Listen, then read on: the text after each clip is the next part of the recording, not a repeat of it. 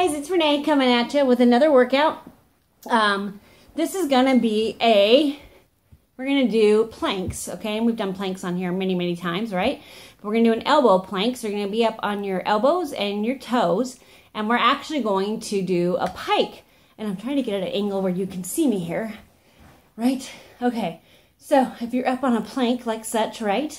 Yes, abs are in, shoulders relaxed, hips are up a little bit, okay? And then you're going to pike up like a dolphin and down. And you're breathing, and your weight is in your toes and your elbows.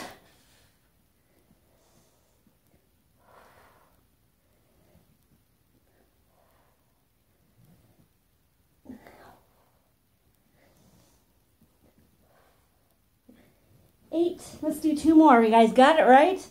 Nine. and ten. And come to your knees. And child's pose.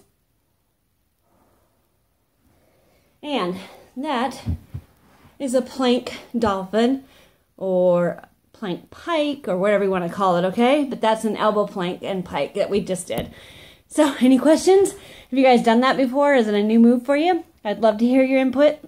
Let me know how you're doing and how you're feeling. Have a good night. Bye.